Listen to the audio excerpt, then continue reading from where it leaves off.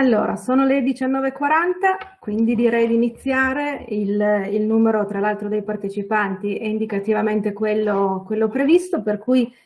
iniziamo la serata anche perché eh, di contenuti ce n'è parecchi questa sera. Allora, io vi rubo qualche, qualche, minuto per darvi qualche informazione tecnica, soprattutto sulla, sulla, piattaforma di questa sera. Vi anticipo che da questo momento la serata è registrata, la registrazione è eh, finalizzata ad un uso interno, semplicemente a scopo di eventualmente poterlo rivedere per quanto riguarda i contenuti. Eh, l'altra cosa che vi chiedo, ma vedo che siete tutti assolutamente già preparatissimi, è quelli di spegnere e silenziare i microfoni. Lo ricordo, l'ho detto prima, per silenziare il microfono occorre eh, cliccare sul primo tasto a sinistra che vedete sullo schermo e silenziare il microfono che deve, essere, che deve diventare rosso. Altra informazione, ci saranno una serie di contenuti e di interventi eh, su diverse tematiche eh, nel caso ci siano questioni o domande specifiche, eh, quello che vi chiedo per non andarci a incrociare appunto con, con gli audio, se sono questioni di carattere diciamo generale che possono interessare tutti i partecipanti, se lo potete eventualmente indicare nella chat. La chat è quel tastino che vedete con i due fumetti a destra dei due omini, cliccandoli sopra si apre una chat come quella di WhatsApp, insomma una messaggistica e segnalate la domanda in modo che io posso in qualche modo segnarmi i contenuti e a fine degli interventi eh, chiedere ai relatori spiegazioni. Eh, rimarrei comunque d'accordo anche con i colleghi che eventuali quesiti più specifici li potete girare via mail, vi, vi verrà risposto ovviamente in modo puntuale, specialmente se i quesiti sono di carattere aziendale e molto puntuali. Eh, eventualmente se necessitate in chiusura degli interventi di fare una, una, richiesta specifica, potete alzare la mano, la manina è quella che vedete, cliccando sopra vi prenotate per gli interventi e poi vi, chiama, vi chiamiamo a conclusione del, appunto della parte di interventi eh, dei relatori. Questo è quanto rispetto un po' alla parte, alla parte tecnica. Io vi rubo ancora qualche minuto per la presentazione del contesto in cui questo evento di questa sera si inserisce. Vi condivido lo schermo così vi mh, mm, proietto giusto due slide ma solo per eh, darvi una piccola presentazione del, della cornice. Spero che ci sia modo di poter condividere il contenuto ehm, comincio ad anticiparvi che questa serata si inserisce all'interno del progetto FAMI il progetto Fami Buona Terra è un progetto di carattere ministeriale promosso dal Ministero dell'Interno. Eh, sono progetti che eh, hanno come scopo quello di favorire l'integrazione lavorativa e sociale eh, dei lavoratori eh, all'interno dei lavoratori stagionali sui territori, in questo caso nel Salozzese. Eh, non so se avete modo già di vedere la condivisione, ma mi pare che in questo momento non si veda. No. Ok, allora intanto chiedo aiuto magari al collega se eventualmente mi dà una mano in questo senso. Intanto vi anticipo un po' i contenuti. Um, il progetto, dicevo, Fami Buona Terra è un progetto il cui capofila è Regione Piemonte, Mm, Col Diretti Piemonte rientra tra i partner, alcune delle azioni del, del progetto Buona Terra eh, sono in capo appunto a Col Diretti Piemonte, fra queste attività c'è anche un'attività di sensibilizzazione e di informazione rivolte alle aziende agricole eh, in particolare sul tema della rete del lavoro agricolo di qualità, che è uno dei temi appunto che si affronterà questa sera, pertanto eh, questo di questa sera è il primo degli appuntamenti proprio in programma eh, su, questo, su questo contenuto. Mi sa che non riesco a farvi vedere lo schermo, vedo facce che mi dicono di no. ok, mi sentite però? Ok, perché in questo momento ho tutto bloccato. Tutto, allora, ti sentiamo. Ok, perfetto. Eh, tra le attività che, ehm, che rientrano nelle, diciamo, nelle, azioni previste per Coldiretti Piemonte ci sono appunto queste di attività di sensibilizzazione, di informazione e una parte legata invece alle attività diciamo, di promozione dell'agricoltura sociale sui territori. Su questo aspetto ci sono delle azioni che devono essere ancora previste, però insomma si partirà probabilmente con la tarda primavera con le prime azioni. Um, io non vi rubo altro, altro, anche perché speravo di potervi proiettare le slide, ma eventualmente se riesco lo farò in chiusura. Eh, intanto passo la parola al, al, collega Mario Dotto, segretario zona di Coldiretti Saluzzo, per una piccola parte introduttiva e poi entreremo nel merito proprio degli interventi. Prego Mario. Maria Chiara, buonasera a tutti. Eh, io faccio solo una piccola premessa iniziale eh, sia sul discorso del perché il FAMI e perché que questo appuntamento in questa serata che uno può alla luce degli, ult degli ultimi avvenimenti in campagna delle, dei giorni scorsi ritenere un po' fuori luogo. Purtroppo sappiamo tutti che eh, le gelate dei giorni scorsi hanno messo a dura prova le, le colture, specialmente quelle frutticole e, la preoccupazione purtroppo fondata che quest'estate il problema della manodopera per la raccolta sia veramente il più piccolo problema che possa avere l'azienda c'è. Però va anche detto che eh, non tutta la produzione persa, lavori in campagna ne rimarranno, eh, c'è comunque una necessità eh, delle aziende di reperire manodopera che in questo momento avviene con dei canali un po' approssimativi, ma così è non solo in agricoltura. Eh, però eh, si sta facendo uno sforzo già da anni e, il FAMI è solo una parte degli sforzi che eh, la categoria che rappresentiamo e che qui presente per una parte in collegamento sta facendo non da ieri ma da una decina di anni a questa parte. C'è uno sforzo grande sull'integrazione e sull'ospitalità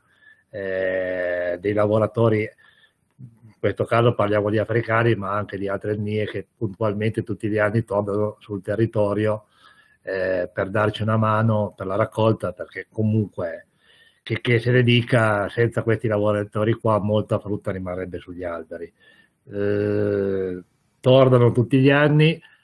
in alcuni casi si stabiliscono nei nostri territori, vivono qua con le nostre famiglie e le aziende agricole, mi piace ricordarlo, e purtroppo non viene mai troppo spesso ricordato perché si evidenzia sempre molto il lato più negativo o quei pochi lati negativi che ci sono, le aziende agricole sono le prime che danno l'esempio su quello che è un'integrazione di, di, lavoratori che giungono sul territorio. Abbiamo una storia trentennale o quarantennale su questo discorso qua che fa solo onore alla categoria, cominciando da, dalle esperienze con i leccesi, con eh, gli extracomunitari dell'est, con eh, i cinesi, con adesso la migrazione subsahariana. Quindi da quel punto di vista lì eh, sicuramente la sensibilizzazione di cui parlava Maria Chiara è molto molto avanti. FAMI vuole essere un piccolo strumento per fare una prova eh, se riusciamo tra le altre cose a creare un qualche sistema di incrocio tra la domanda e l'offerta di lavoro che non sia invasiva, che non sia vincolante, ma che sia di supporto per le aziende vuole anche essere uno, un piccolo strumento di aiuto a una formazione che le aziende fanno già, perché il primo giorno di lavoro eh, si spiega ai lavoratori cosa vengono a fare, quali sono i piccoli o grandi rischi dell'attività e, eh, e, cerchiamo di mettere un po' in fila queste attività che, che già molte volte si fanno, cerchiamo anche di valorizzarle perché ritengo che al di là di quello che dicevo prima, dei titoli negativi che qualche volta qualche giornale si diverte a mettere, c'è molto di buono da, da far uscire fuori e io mi auguro che eh, il progetto FAMI aiuti se non eh, in modo tangibile economico, ma in un modo un po' più a livello comunicativo, eh, a far passare non un quadro nuovo dell'agricoltura e di chi assume, a far passare quella che è la realtà. Cioè qui tutti gli anni arrivano dai 10 ai 15 mila lavoratori che, parlo del, frutticolo che non è solo Saluzzo, però eh, la parte grande è qua, che vengono per la gran parte, al di là di quello che sono gli obblighi di legge, e questo va ricordato, al di là degli obblighi di legge vengono accolti dalle aziende, molte volte eh, lavorano, spesse volte lavorano a stretto contatto con il datore di lavoro, cioè si creano anche dei, eh, degli ambiti familiari che, eh, che fa male quando vediamo qualche campagna più o meno strumentale di denigrazione di quello che si fa. Quindi mi auguro, adesso passiamo veramente a qualcosa di un po' più interessante di quello che posso dire io, che la serata, che come diceva Maria Chiara, è la prima di una serie, spero che diventi, che mantenga questa partecipazione e sia per voi interessante, eh, che si protrarrà ancora nei mesi successivi, cercando di non farvi perdere troppo tempo e ricordando per il discorso gelo che comunque stia, ci stiamo attivando tutti i livelli, dalla regione al ministero, per cercare di, di far superare nel miglior modo possibile questo momento delicato di cui, eh, di cui siamo purtroppo vittime. Grazie a tutti per l'attenzione. Grazie a Mario. Allora, io intanto ci riprovo. Ok, mi dite solo se vedete. Chiedo al collega solo di darmi conferma. Eh, come vi dicevo, il progetto Fami Buona Terra, state vedendo? Qualcuno mi dica sì, così perché non vi vedo. Sì, vediamo. Sì. Perfetto, perfetto. Allora, il progetto Fami Buona Terra rientra. Benissimo, Nel, eh, all'interno del Fondo Asilo, Migrazione e Integrazione le annualità sono quelle che vanno dal 2014 al 2020, il nostro progetto a cui partecipiamo parte a gennaio 2020, eh, scadenza naturale 31-12-2020, ma abbiamo avuto la, la proroga, quindi probabilmente avremo un po' più di tempo, sei mesi, per la realizzazione di tutta una serie di attività. Brevemente, non, per non rubarvi altro tempo, eh, lo strumento del FAMI è uno strumento finanziario istituito da un regolamento europeo, l'obiettivo proprio di promuovere, come diceva anche, anche Mario, sul territorio, una gestione integrata dei flussi migratori. Um, queste che vedete sono le macroazioni di progetto, quindi i termini che diceva Mario si riprendono anche qua, accoglienza abitativa, l'integrazione lavorativa, gli aspetti dell'agricoltura sociale etica e del lavoro di qualità, quindi la serata di questa sera, la, la parte di integrazione sociale dei lavoratori stagionali, eh, un tentativo di eh, incrociare domanda-offerta per rendere il più possibile lineare e trasparente questo percorso, la governance della rete, quindi il partenariato tra i soggetti che entrano, diciamo che sono protagonisti in questi percorsi e azioni di comunicazione e di diffusione. Questo è giusto per darvi un quadro, anche perché magari nelle attività eh, sentirete, eh, nelle prossime attività sentirete parlare del progetto FAM e questi sono i contenuti. Ora chiudiamo la parte di apertura, la parte un po' più istituzionale e eh, passiamo la parola a quello che eh, questa sera è il nostro ospite, diciamo, eh, esterno, il dottor Massimiliano Fiori, responsabile del processo di vigilanza dell'Ispettorato Territoriale del Lavoro eh, di Cuneo. A lui abbiamo proprio chiesto di fare un, un breve intervento sul, sul tema della rete del lavoro agricolo di qualità. Quindi passo la parola al dottor Fiori, prego tutti, vi ringrazio innanzitutto per avermi invitato sia come ufficio che come persona. Io sono il responsabile del processo di vigilanza dell'Ispettorato Territoriale del Lavoro di Cuneo. Come ufficio ci occupiamo sì di ispezioni in materia giuslavoristica, ma non solo, e quindi anche in materia di promozione della cultura della legalità e nell'ambito appunto giuslavoristico, quindi sono molto contento anche come ufficio a nome del direttore di questo invito perché ci offre l'opportunità anche di, ehm, di, vedere il nostro ufficio in una veste diversa. Ehm, questa sera vi parlerò della rete del lavoro agricolo di qualità, provo a condividere anch'io delle slide che ho preparato per riuscire a... allora, vediamo se riesco.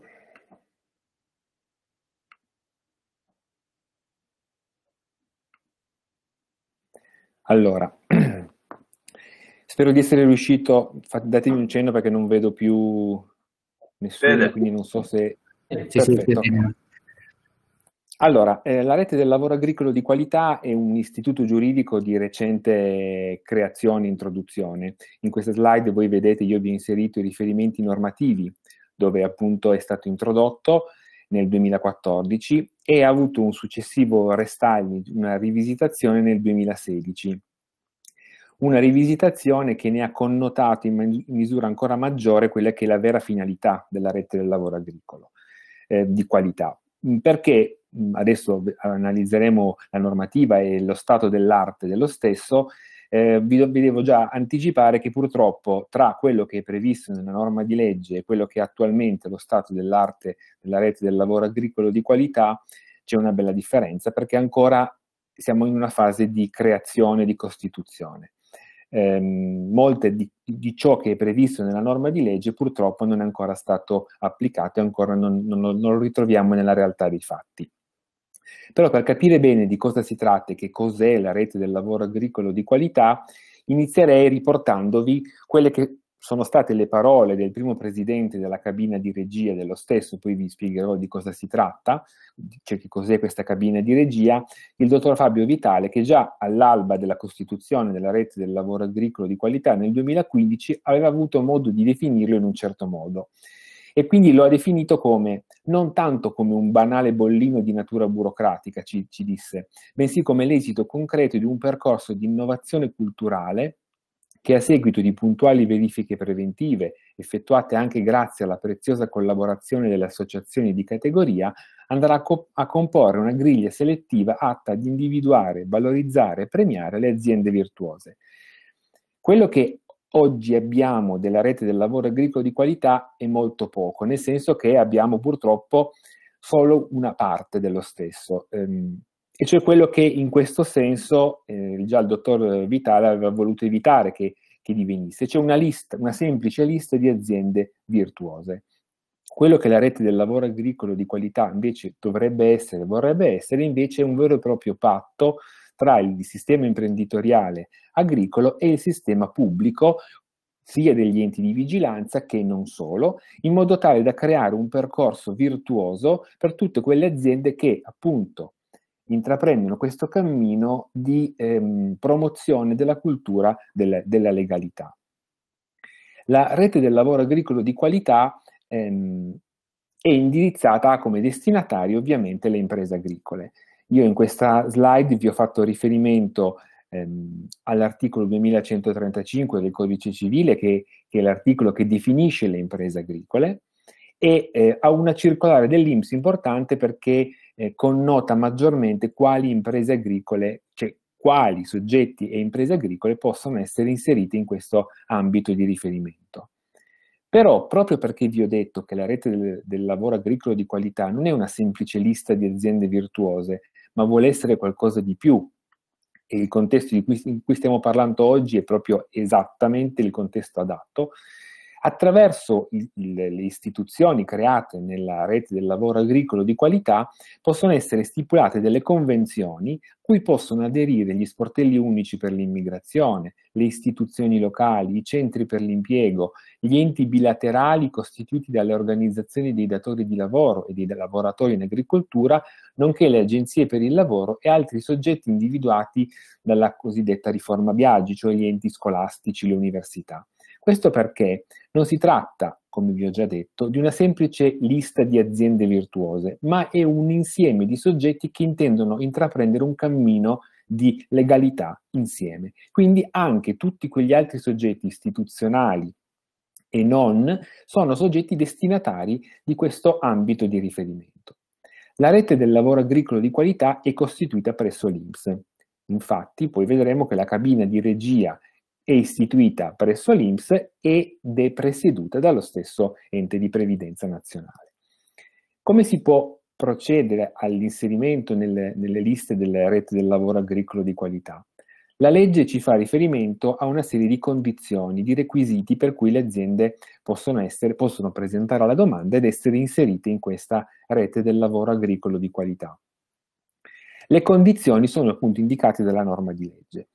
Trattandosi di un percorso virtuoso volto a premiare e valorizzare le aziende appunto che hanno scelto vi- la via della, della, legalità, comunque della promozione della cultura de- della legalità, è necessario che l'azienda non sia stata destinataria di una serie di contestazioni di illecito. Un primo novero di disposizioni che l'imprenditore agricolo non deve aver riportato sostanzialmente sono le condanne penali per tutta una serie di ipotesi di legge. Violazioni della normativa in materia di lavoro e legislazione sociale,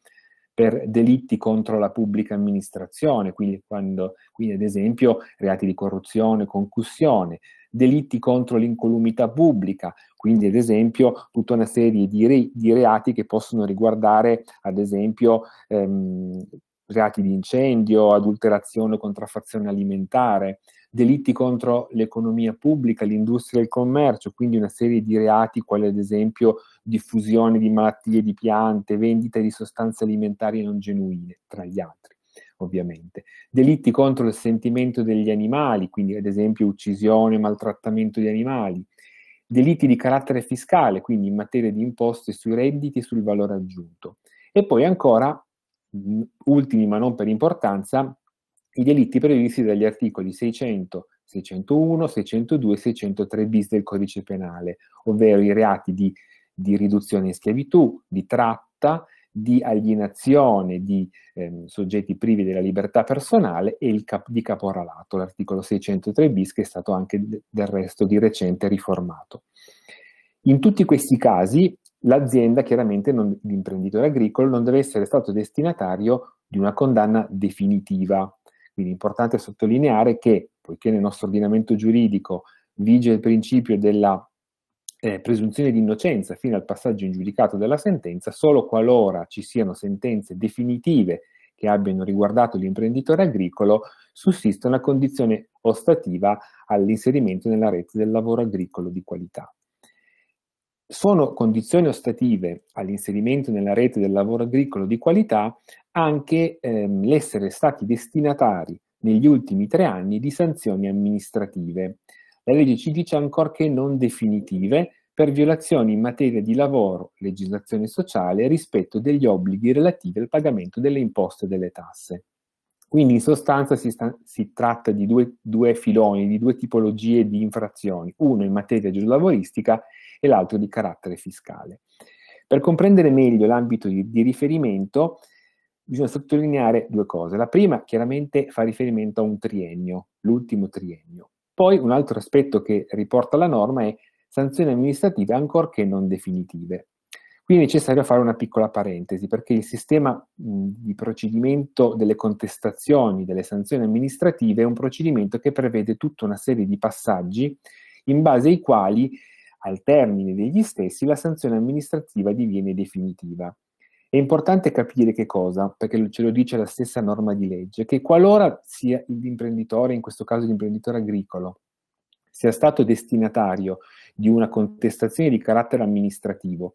ma nella stessa si sia preveduto quindi una possibilità di regolarizzazione attraverso un meccanismo che viene definito di diffida, quindi indicato dallo stesso ente di vigilanza nel, nel provvedimento di contestazione, e l'imprenditore agricolo abbia, in questo caso l'imprenditore agricolo, ma in generale il trasgressore, abbia regolarizzato le inosservanze e abbia pagato la sanzione amministrativa a questo punto definita nel minimo, questo, diciamo, tra virgolette, precedente non costituisce condizione ostativa alla presentazione della domanda e all'inserimento nella rete del lavoro agricolo di qualità. Un altro aspetto importante che riguarda eh, quindi la possibilità di accedere stesso, alla stessa rete del lavoro agricolo di qualità fa riferimento ad altre tre condizioni. Una, un'altra condizione è ovviamente quella di essere in regola con il versamento dei contributi previdenziali dei premi assicurativi. Un altro aspetto riguarda l'applicazione dei contratti collettivi. Io qui vi ho fatto riferimento alla normativa del Jobs Act che, che disciplina sostanzialmente quale tipologia di contratto collettivo ehm, deve essere sostanzialmente applicato dall'azienda. Questo perché eh, nel nostro ordinamento giuridico i contratti collettivi nazionali di lavoro sono contratti di diritto privato. Quindi succede che in alcuni ambiti di riferimento mh, ci possano essere più contratti collettivi stipulati da soggetti differenti che possono sostanzialmente essere applicati dal, dal, dal datore di lavoro. Onde evitare che ci sia una, un accesso nei confronti di ehm, contratti collettivi stipulati da soggetti non rappresentativi, eh, il legislatore, in questo caso lo ha fatto, eh, cerca sempre di individuare quelli che sono i contratti collettivi stipulati dalle organizzazioni più rappresentative. In questo contesto in cui vi sto parlando oggi, il, il contratto collettivo firmato dalla, dalla Coldiretti è sicuramente uno dei più, rappresent il più rappresentativo a livello nazionale. Un'altra condizione ostativa alla presentazione della domanda alla partecipazione alla rete del lavoro agricolo di qualità è il fatto che l'impresa non sia controllata o collegata a soggetto che non sia in possesso dei requisiti di cui abbiamo detto adesso, perché potrebbe benissimo accadere una situazione nella quale si crei una società di comodo, un'impresa di comodo controllata da soggetti che non hanno i requisiti solamente perché quella creata ad hoc pos possa quindi partecipare alla rete del lavoro agricolo di qualità e quindi risultare come azienda regolare. Quindi un'azienda che, un, imprend un, imprenditore che sia diciamo, accolga tutti questi requisiti può presentare la domanda. La domanda eh, si presenta direttamente dall'impresa agricola in via telematica dal sito dell'INPS e viene gestita a livello centrale. Una prima cosa da dire, perché potrebbe essere un, un timore che chiunque può avere, al momento della presentazione della domanda non si determina nessun accertamento ispettivo nei confronti dell'azienda. La presentazione della domanda non costituisce motivo perché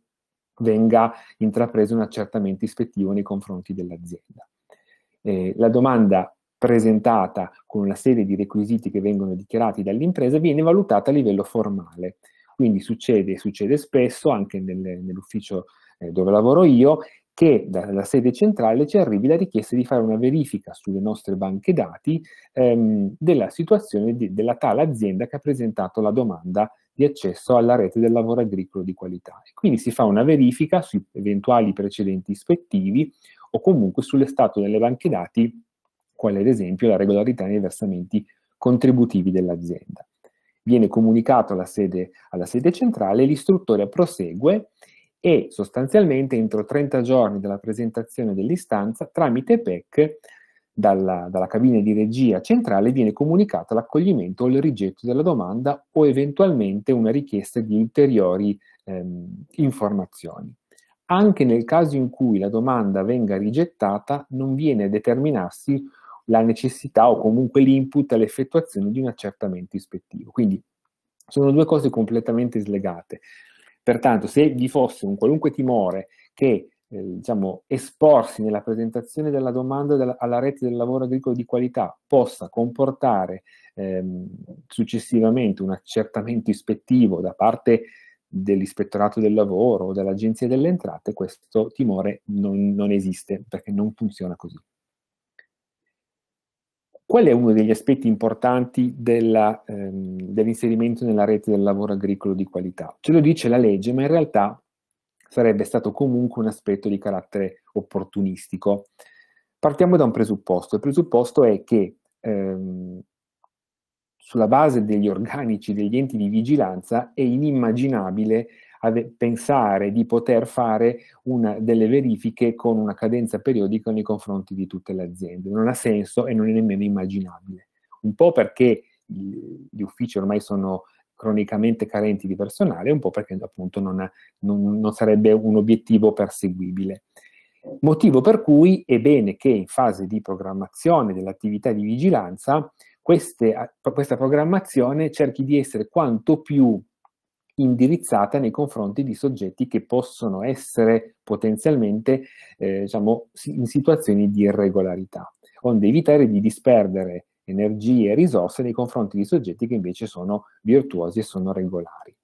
Ecco dunque che l'inserimento nella rete del lavoro agricolo di qualità può costituire, anzi costituisce, un elemento che viene preso in considerazione nel momento in cui viene fatta la programmazione ispettiva. La programmazione ispettiva sostanzialmente ha due due canali di, di, formazione, diciamo così. Un primo è un'ispezione non legata ad una, una specifica denuncia, una specifica segnalazione, ma fa riferimento a verifiche nei confronti di fenomeni particolari, di stagionalità, di situazioni particolari che vengono determinate molto spesso dal livello centrale e a cascata vanno sul territorio. Ad esempio può essere, succede tutti gli anni che vengano programmate attività ispettive nei, nei, durante il periodo della raccolta della frutta oppure durante il periodo, nei momenti in cui ci sono forti fenomeni migratori. Questo tipo di programmazione di attività ispettiva è una programmazione che non è indirizzata nei confronti di una specifica azienda, ma è indirizzata nei confronti di un fenomeno, di una particolare situazione. E questa nel settore agricolo possiamo dire che rappresenta quasi l'80% dell'attività ispettiva che viene programmata. Nei confronti di questa specifica attività di vigilanza e di, di programmazione, ehm, il fatto che l'azienda si trovi all'interno della rete del lavoro agricolo di qualità, ce lo dice la stessa legge, ma ripeto, sarebbe stata anche dal punto di vista opportunistico eh, la stessa cosa. Ehm, la legge ci dice che l'INL, cioè l'Ispettorato Nazionale del Lavoro, e l'INPS devono orientare l'attività di vigilanza nei confronti delle imprese non appartenenti alla rete del lavoro agricolo di qualità. Quindi cosa succede? Succede che se viene iniziato, comunque si sta per iniziare un accertamento ispettivo nei confronti di un'azienda la quale oppone la, l'inserimento nella rete del lavoro agricolo di qualità, quell'accertamento ispettivo, come è nato, è immediatamente finito e non, non prosegue e si va oltre sostanzialmente. Questo ha, ha, delle condizioni, nel senso che uno, ce lo dice la stessa norma di legge, non fa materia di salute e sicurezza nei luoghi di lavoro. Questo perché? Perché la materia dei controlli della salute e sicurezza dei luoghi di lavoro non è di competenza né dell'ispettorato del lavoro né dell'Inps, ma in virtù di una ripartizione di competenze di carattere costituzionale è affidata alle regioni e le regioni effettuano questo tipo di verifiche tramite gli SPRESA. Un altro filone di programmazione di, di attività ispettiva che non è interessato da questo limite sostanzialmente è quello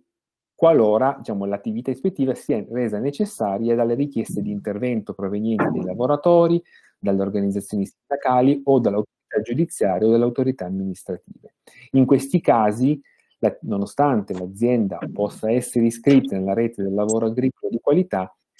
l'accertamento ispettivo viene comunque effettuato, proprio perché c'è in realtà un input completamente diverso rispetto a quello che è indicato. Questo è un aspetto importante, però non deve far pensare che non ci sia una forma particolare di, di, di monitoraggio nei confronti delle aziende inserite nella rete del lavoro agricolo di qualità. La legge lo prevede, ma nella situazione di fatto attuale non è previsto un protocollo particolare di verifiche nei confronti delle aziende stesse. Diciamo che qualora al momento il monitoraggio è ridotto semplicemente a questo, che qualora ehm, sopraggiungono delle condizioni ostative legate ad accertamenti ispettivi, ad esempio originati da richieste di denuncia del lavoratore o da condanne particolari dell'imprenditore agricolo, il monitoraggio che ne consegue fa sì che l'azienda che era iscritta nella rete del lavoro agricolo di qualità possa essere estromessa dallo stesso. Però non è attualmente stato procedimentalizzato o comunque un'attività di monitoraggio periodica nei confronti delle aziende iscritte nella rete del lavoro agricolo di qualità. Anche se, devo essere sincero, so che se ne parla a livello centrale, quindi di effettuare una sorta di monitoraggio non, di cui non si sa ancora come possa essere effettuato, ma che non necessariamente può essere, eh, diciamo, ricondotto a un semplice accertamento ispettivo. Potrebbe essere anche semplicemente un monitoraggio di carattere formale eh, sulla base sempre della interrogazione delle banche dati. Questa è la parte della rete del lavoro agricolo di qualità che esiste, quindi esistono questa rete di aziende, ehm, periodicamente, circa mensilmente, come ufficio riceviamo la richiesta di verifica, come vi ho detto, nelle banche dati di chi presenta la domanda, viene risposta e viene inserita nella rete del lavoro agricolo di qualità. Dopo vi dirò i numeri della provincia di Cuneo e, e in generale nazionali, ma ehm, questa è la parte che esiste. Esiste anche quindi questa, rete, questa lista che è resa pubblica, che, che, come personale ispettivo durante gli accertamenti ispettivi ha in mano, che quindi quando un'azienda oppone l'iscrizione nella rete del lavoro agricolo di qualità può riscontrarla e immediatamente quindi interrompere ogni accertamento ispettivo. Quello che attualmente invece non c'è è tutta la parte, diciamo, di carattere legata alle azioni positive eh, dell'inserimento nella rete del lavoro agricolo di qualità. Vi ho fatto riferimento prima, ho fatto un cenno prima alla cabina di regia. La cabina di regia è sostanzialmente questo organo collegiale costituito a livello centrale che comprende tutti i vari soggetti che in qualche modo ehm, hanno competenze e quindi fa, compiono la loro parte in materia di rete del lavoro agricolo di qualità. Vi ho detto precedentemente che la rete del lavoro agricolo è sovrintesa da, da una cabina di regia appunto delle, presieduta dall'Inps, ma in essa ritroviamo un rappresentante del Ministero del Lavoro, uno delle, del Ministero delle Politiche Agricole, un rappresentante del Ministero dell'Economia e delle Finanze e uno del Ministero dell'Interno, un rappresentante dell'Ispettorato Nazionale del Lavoro, dell'Agenzia delle Entrate, dell'AMPAL, dell'INPS e della Conferenza delle Regioni e Province Autonome. E soprattutto molto importante, fanno parte tre rappresentanti dei lavoratori subordinati delle imprese agricole ed uno delle cooperative agricole e tre rappresentanti dei datori di lavoro ed autonomi e un rappresentante delle associazioni delle cooperative agricole firmatarie dei contratti collettivi nazionali del settore. È importante che tutti questi soggetti siano rappresentati all'interno della cabina di regia per le competenze che ha la cabina di regia e che dovrebbe eh, diciamo, eh, esercitare, ma che purtroppo al momento non completamente esercita. Infatti, tra le competenze della cabina di regia, a parte la deliberazione sulle istanze di partecipazione, e questa è effettivamente esercitata, la deliberazione sulle esclusioni, anche questa esercitata, la redazione e l'aggiornamento dell'elenco delle imprese agricole partecipanti, anche questa esercitata ed è facilmente consultabile anche da parte vostra se accedete al sito dell'INPS trovate l'elenco di tutte le aziende che sono inserite nella rete del lavoro agricolo di qualità, aggiornato mese per mese. Tutto quello che invece al momento la cabina di regia non sta facendo è tutto quello che vedete scritto successivamente in questa slide. Quindi al momento non si hanno notizie di monitoraggi trimestrali sull'andamento del mercato del lavoro, non vi sono iniziative in materia di politiche attive del lavoro, il contrasto al lavoro sommerso, l'evasione contributiva e alla gestione dei flussi di manodopera stagionale. Non è presente al momento ehm, alcuna relazione al Parlamento relativa all'attività della rete del lavoro agricolo di qualità ed anche un aspetto importante, nonostante, nonostante qualche territorio, eh, non quello cunese, ma comunque in altri territori locali, soprattutto con con riferimento all'adesione di alcuni soggetti ehm, esterni alla rete del lavoro agricolo di qualità. È sicuramente una situazione in divenire. Il fatto che ehm, ci siano iniziative come quella a cui stiamo assistendo oggi fa ben sperare che presto tutti gli aspetti della rete del lavoro agricolo di qualità potranno essere completamente ehm, esercitati, anche perché rappresenta un importante tavolo di riferimento, visti i soggetti partecipanti, dove poter formulare delle proposte anche di modifica delle normative in materia di lavoro, eh, delle normative in generale che riguardano il settore agricolo e di tutte le sue specifiche problematiche. La stessa normativa prevede che ehm, a livello territoriale la rete del lavoro agricolo si articola in sezioni territoriali. Anche in questo caso, a livello locale, quindi a livello della provincia di Cuneo, non è stata ancora costituita la sezione territoriale della stessa e sarebbe importante una sua costituzione anche in relazione a quelli che sono i compiti che ha, poiché gli stessi compiti che abbiamo vi visto assegnati alla cabina di regia nazionale possono essere, cioè sono affidati anche alle sezioni territoriali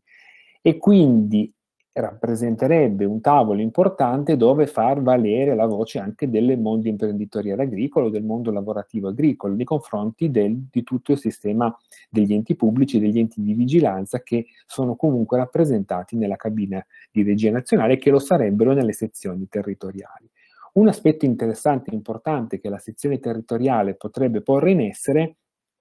riguarda la possibilità che avendo presente all'interno della propria struttura collegiale anche gli enti locali, ce lo dice la stessa norma di legge, si possano condizionare anche aziende non del settore agricolo, come quelle del settore del trasporto di persone, ehm, persone, persone che in questo caso dovrebbero essere i lavoratori, in modo tale da favorire che anche questo circolo virtuoso del, che si instaura con la partecipazione alla rete del lavoro agricolo di qualità si possa estendere anche nei confronti di queste aziende che svolgono attività accessoria di trasporto delle persone e che quindi possano accedere, avendo i medesimi requisiti delle aziende che presentano l'adesione alla rete del lavoro agricolo di qualità, alle convenzioni con la stessa rete e quindi ottenere solo in quella condizione i contributi istituiti per il trasporto dei lavoratori dagli enti locali. Quindi sarebbe un, un sistema di ampliamento di questo sistema virtuoso previsto dalla rete del lavoro agricolo di qualità. Per concludere, ehm, vi do qualche numero. Eh, voi avrete visto, se accedete al sito dell'Inps, li potrete verificare anche mese per mese i numeri delle, delle stesse aziende partecipanti alla rete del lavoro agricolo di qualità, però alla data del 31 marzo a livello nazionale sono, risultano iscritte 4.791 imprese e a livello locale, cioè provincia di Cuneo, ne risultano iscritte 160. Mm, per i numeri, quindi io posso darvi il raffronto con eh, la situazione di irregolarità e di eh, tipologia di irregolarità del territorio nazionale, quello che, posso, che si può dire che sicuramente il territorio della provincia di Cuneo è sottorappresentato perché il tasso di irregolarità è molto basso, perché le, le, le, irregolarità che vengono riscontrate comunque non sono di livello eccessivamente grave rispetto, faccio questo ragionamento rispetto ad altri territori nazionali. E quindi il numero di 160 imprese agricole che in qualche modo hanno deciso di far parte di questa rete del lavoro agricolo di qualità non rappresenta un numero che è rappresentativo della situazione di qualità del settore della provincia di Cuneo e di regolarità della provincia di Cuneo. Probabilmente c'è un po' di timore, c'è un pochino di ehm, una situazione per cui questa rete ancora non è, non è, non è, non è, non è attiva completamente, però sicuramente è un, è un'opportunità che ehm, non, va, non va dimenticata e va presa in considerazione. Lascio la parola a chi mi segue e poi sono a disposizione per eventuali domande. Adesso tolgo solo la presentazione. Grazie, grazie dottor Fiori per la, per la puntuale spiegazione. Ovviamente se ci sono poi eh, quesiti specifici sul tema, ovviamente anche tramite i colleghi eventualmente dirotteremo o in chiusura o successivamente dei quesiti, eh, anche perché appunto la, il concetto della qualità rientra tra le finalità di questo, di questo progetto a cui partecipiamo. Ora in, eh, passerei la parola al, um, al collega Roberto Giobergia, con l'occasione di passare la parola al collega ringrazio anche i colleghi che sono, sono presenti a questa video per, per, la loro disponibilità e per il lavoro che fanno sul territorio. Roberto Giobergia, responsabile dell'area datori di lavoro col Diretti Cuneo, eh, ci presenterà rispetto al decreto sostegni gli aspetti di carattere giuselavoristico. Prego Roberto. Allora, eh, buonasera a tutti. Eh, innanzitutto grazie a tutte le aziende che sono presenti eh, stasera. Ehm, mi ricollego a quello che diceva eh, Massimiliano Fiori prima, ehm, che lo ringrazio per, la, per, quello che ci ha portato, per, per l'esposizione chiara e precisa di un tema che effettivamente eh, è lì latente da qualche anno e, ehm, ed è latente esattamente per i motivi che hai sottolineato te, cioè quello per cui ehm, solo una parte, quella diciamo amministrativa eh, barra burocratica ha una sua concreta eh, attuazione in quell'elenco.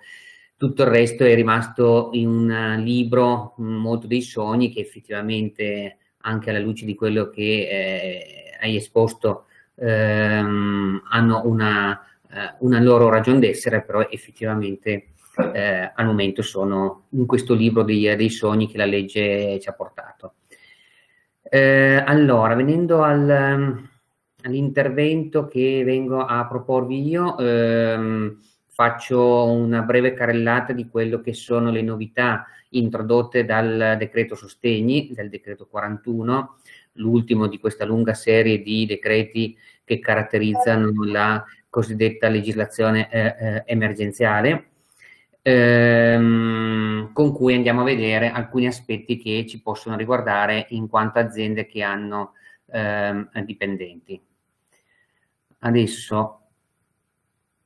vado a fare condivisione.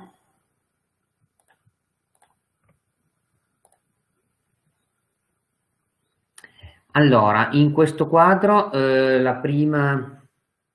eh, il primo tema che andrei a eh, soffermare la nostra attenzione è quella dei cosiddetti ammortizzatori sociali Covid. Ehm, ammortizzatori sappiamo che sono quegli strumenti che la legge ehm, adotta per garantire una continuità eh, all'occupazione eh, andando a compensare situazioni in cui le aziende abbiano delle difficoltà. Sono delle situazioni che normalmente il settore agricolo vede poco, perché comunque eh, la caratteristica del comparto agricolo è quello di avere comunque una certa continuità eh, dell'attività lavorativa. Ehm, la, la, caratteristica è quella che i rapporti di lavoro agricoli eh, hanno l'integrazione della disoccupazione agricola, che è diciamo, l'ammortizzatore sociale che serve per eh, sostenere il reddito dei lavoratori che, tra virgolette, accettano un lavoro stagionale che per la sua natura è un lavoro a chiamata e quindi in quel modo si dà questa ehm, stabilizzazione del reddito per i lavoratori stagionali. Dall'altro lato, nel settore agricolo abbiamo quella che vedete in questa slide, la CISO ordinaria, cioè per i lavoratori operai e impiegati a tempo indeterminato, ehm, può essere richiesta la cosiddetta CISOA ordinaria, cioè la cassa integrazione straordinaria operai agricoli, ehm, giustificata da stasi stagionale, intemperie, mancanza commesse e causali simili, per un limite massimo di 90 giornate all'anno per ciascun lavoratore ed è caratterizzato dal, eh, dal meccanismo per cui l'azienda anticipa per conto IMSS eh, quindi sono anticipazioni che poi recuperi sui contributi nella misura dell'80%, eh, più un 10% a carico azienda come previsto dal contratto collettivo. In questo quadro ehm, si inserisce quello che sono i cosiddetti ammortizzatori sociali Covid, cioè quelli per le quali ehm, l'intervento è legato a riduzioni o sospensione dell'attività lavorativa eh, conseguenti agli effetti economici del, del, Covid, quindi attività economiche sospese, tipo quelli del, eh, eh, degli agriturismi, punti vendita, eh, riduzione comunque di attività che sono riconducibili agli effetti economici del, del Covid. Ehm, quello che vediamo in questa slide è il quadro del, de, eh, degli ammortizzatori sociali introdotti dalla legge di stabilità 2021 che eh, si incastra in questo momento con il DL Sostegni. Eh, la CESOA Covid, quindi quella per i lavoratori a tempo indeterminato, eh, prevede un meccanismo di 90 giornate dal, che possono essere fruite dal 1 gennaio al 30 giugno 2021 ehm, con pagamento eh, diretto IMSS. Nel caso della CESOA Covid bisogna tener conto che c'è il, il eh, eh massimale cosa che invece non c'è nella cesura ordinaria.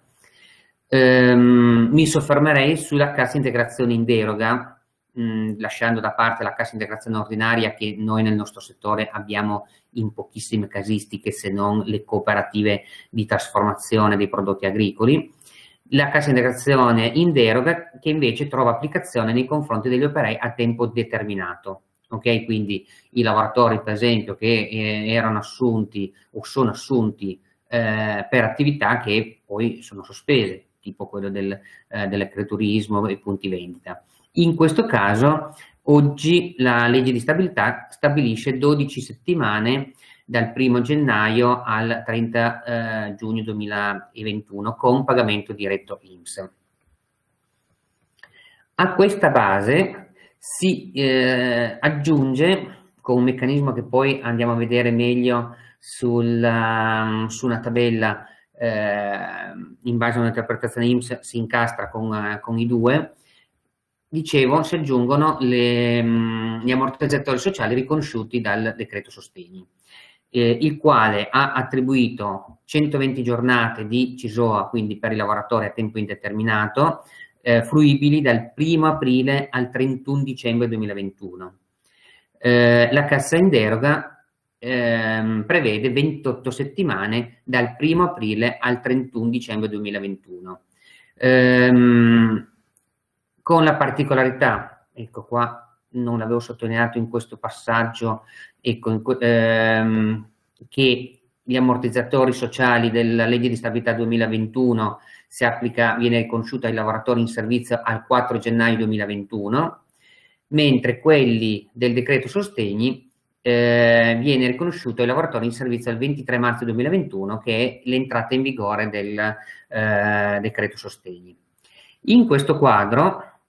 ehm, poniamo attenzione a quello che è un quadro di sintesi che nasce da un ehm, messaggio IMSS che ha mh, letto la norma del decreto sostegni eh, non come un eh, sostituire il, gli ammortizzatori introdotti dalla legge di stabilità, ma come un incastrare i due. Quindi creando questo meccanismo su cui adesso non vado poi in dettaglio a entrare, cioè poi le aziende interessate eh, che hanno bisogno di approfondire con i nostri uffici lo possono fare eh, nel, nel, dettaglio, comunque andando a incastrare eh, il, il, il, meccanismo per cui poniamo attenzione alla CISOA, per esempio, questa in fondo, ehm, vedete io posso fruire di 90 giorni dal 1 gennaio al 30 giugno 2021 e altri 120 giorni dal 1 aprile al 31-12, con l'effetto che se per esempio io ho fruito eh, di tutti i 90 giorni nel eh, periodo eh, gennaio-marzo, ad aprile posso già aggiungere quelli di, eh, del, del, decreto sostegni,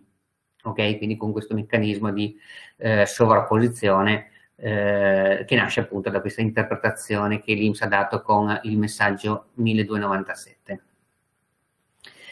legato al meccanismo del, eh, dei eh, eh, ammortizzatori sociali c'è il tema del divieto di licenziamento per motivi economici. Eh, chiaramente va sottolineato che si tratta di divieto di licenziamento per motivi economici, cioè quindi è chiaro che rimangono eh, aperti eh, eventuali spazi per i procedimenti, i, i, licenziamenti di tipo disciplinare, ovviamente.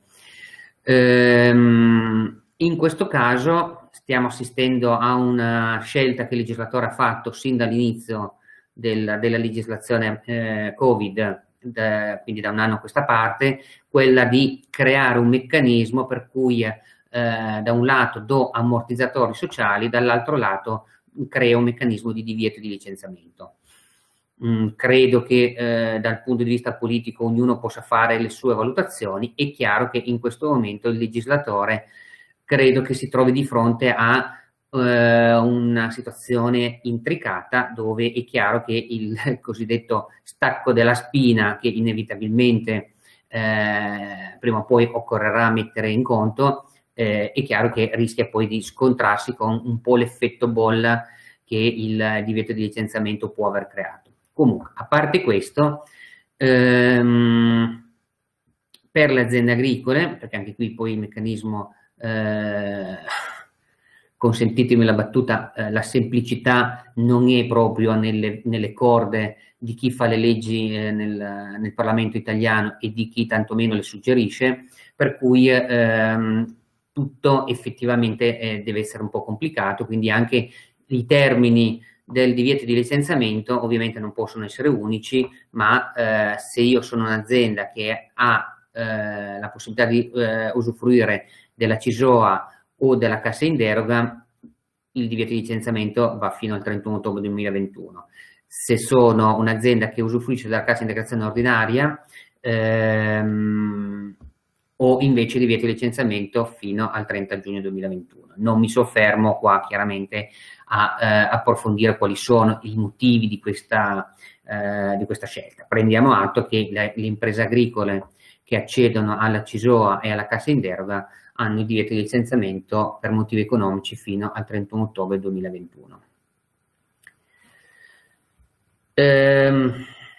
non è direttamente collegato al decreto sostegni, ma comunque fa parte del, eh, della normazione eh, Covid di questi, di questi, mesi, farei un cenno ai congedi Covid, ehm, che sono i congedi che possono essere fruiti dai genitori con eh, figli in, uh, in DAD eh, o figli che abbiano infezione da SARS eh, o figli che siano in quarantena in quanto ehm, contatto stretto con ehm, malato di, di Covid. Eh, in questo caso la legge riconosce dal 1 gennaio 2021 al 30 giugno 2021 la possibilità di eh, un congedo al 50% ehm, della retribuzione se il lavoro che eh, il lavoratore fa non può essere svolto in smart working, altrimenti la legge dice che il lavoro va svolto in uh, smart working. Ehm, nel caso di mh, situazioni di quelle elencate eh, relativi a figli tra i 14 e i 16 anni, eh, il lavoratore che non, eh, non possa svolgere l'attività lavorativa in smart working ehm, può chiedere un permesso non retribuito eh, con ovviamente la tutela del divieto di licenziamento. Sempre legato alla normativa di questi mh, periodi, eh, farei un cenno a un tema che chiaramente ci riguarda direttamente, che è quello della proroga dei permessi di soggiorno anche stagionali. Questo nasce dalla situazione per cui eh, le, la, le, difficoltà di mobilità del, um, delle persone e eh, anche le difficoltà organizzative che chiaramente eh, gli uffici possono avere, il legislatore già la scorsa estate e poi di nuovo con il decreto 2 2021 ha prorogato i permessi di soggiorno eh, anche stagionali fino al 30 aprile 2021 e poi adesso vedremo con il 30 aprile cosa, cosa succederà. Ehm, ponendo attenzione a quello che sono gli aspetti eh, un po' peculiari di quello che è la normativa emergenziale, mh, porrei l'attenzione su quello che sono gli esoneri contributivi che hanno caratterizzato eh, il settore agricolo. Qui chiaramente io faccio riferimento solo alla parte relativa alle aziende con dipendenti, quindi alla parte relativa ai contributi dovuti per i lavoratori dipendenti agricoli.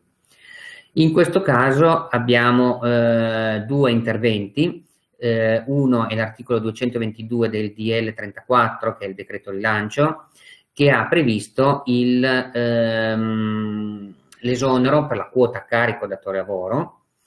eh, relativo ai contributi dovuti per il primo e secondo trimestre 2020, quelli in concreto in scadenza il 16 settembre e il 16 dicembre 2020.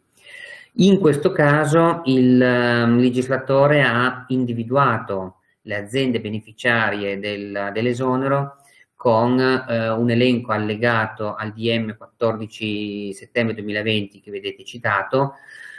un elenco che ha, mh, mm, dei, ha dei buchi dei buchi noti che riguardano in particolare la, eh, il settore frutticolo e il settore orticolo. Su questo esonero è proprio di ieri la circolare IMSS che eh, arriva a dare le istruzioni per portare a casa l'esonero. Cioè, e anche qui credo che non sia fuori luogo fare menzione su questa situazione dove un debito che io avrei dovuto o pagare o vedermi riconosciuto l'esonero al 16 settembre arrivo al 12 marzo ad avere eh, le istruzioni, quindi vuol dire che abbiamo passato sei mesi di eh, limbo senza eh, onestamente chiarezza. Um, un secondo mh, pacchetto di, di, esoneri riguarda ehm, il, il, la quota carico azienda eh, relativo ai mesi di novembre, dicembre e poi successivamente è stato esteso adesso anche a gennaio 2021. eh, previsto appunto dal decreto 137, cioè quindi il, il, decreto ristori, la legge di conversione del, del decreto ristori. Anche qui, eh, voglio dire, ovviamente siamo ancora nel limbo perché se ieri siamo arrivati ad avere le istruzioni su quelli di settembre, è chiaro che oggi non abbiamo ancora quelli di novembre, dicembre gennaio, quindi eh, diciamo attendiamo fiduciosi che ehm, arrivino indicazioni su, su questo senso. Um, un cenno mm, possiamo farlo su un paio di interventi eh, introdotti dalla legge di stabilità, la legge 178, cioè la cosiddetta legge finanziaria, eh, che possono avere un, um, un certo interesse, eh, in quanto il settore agricolo, adesso è chiaro che con eh, quello che eh, sono il, eh, le difficoltà conseguenti al gelo, certamente tutta una serie di situazioni eh, ovviamente eh, non, hanno, non avranno un seguito come forse avrebbero potuto, però comunque il eh, settore agricolo ha per sua caratteristica quella di avere una certa continuità del, dell'occupazione e quindi anche la possibilità di vedere delle agevolazioni eh, per la stabilizzazione, quella prevista eh, relativa alle assunzioni a tempo indeterminato nel, nel biennio 2021-22 e quella delle assunzioni femminili,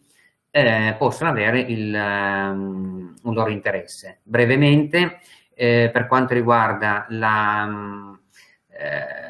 stabilizzazione, si riferisce appunto alle assunzioni a tempo indeterminato nel biennio 2021-2022, eh, di lavoratori che non abbiano mai avuto un contratto di lavoro a tempo indeterminato eh, e non abbiano compiuto il 36esimo anno di età. In questo caso si tratta di un esonero ehm, eh, per la durata massima di 36 eh, mesi nel limite massimo di importo pari a 6.000 euro per la quota a carico eh, datore lavoro. Per quanto riguarda le assunzioni femminili, eh, l'agevolazione riguarda l'assunzione sia a tempo determinato che a tempo indeterminato, eh, vedete sotto fino a 12 mesi se tempo determinato, fino a 18 mesi se tempo indeterminato, ehm, che può avere un, un certo interesse eh, nella misura in cui eh, si va a fare assunzioni di donne di qualsiasi età che svolgono professioni o attività lavorative in settori economici caratterizzati da un'accentuata disparità occupazionale di genere, ehm, tenendo in considerazione che il settore agricolo è considerato uno di questi settori. Quindi l'assunzione di una donna con, eh, pri che è priva di un impiego regolarmente retribuito da almeno sei mesi ehm, consente di poter accedere a questa agevolazione un'agevolazione che qui io non... Ehm, ecco, chiedo scusa, mi soffermo ancora un secondo sul fatto che l'agevolazione la, eh, per le assunzioni femminili eh, riguarda la quota carico dato lavoro nella misura fino al 100% nel limite sempre dei 6.000 euro annui eh, e richiede l'incremento occupazionale netto, che è una condizione abbastanza delicata e complessa che va chiaramente valu va valutato. Significa che io mh, mm, ho X persone con l'assunzione di quella persona nei mesi in cui vado a chiedere eh, quell'agevolazione devo aver avuto l'incremento occupazionale netto che appunto con la stagionalità delle attività agricole è ovviamente un paletto non proprio facile da uno monitorare e due da ottenere.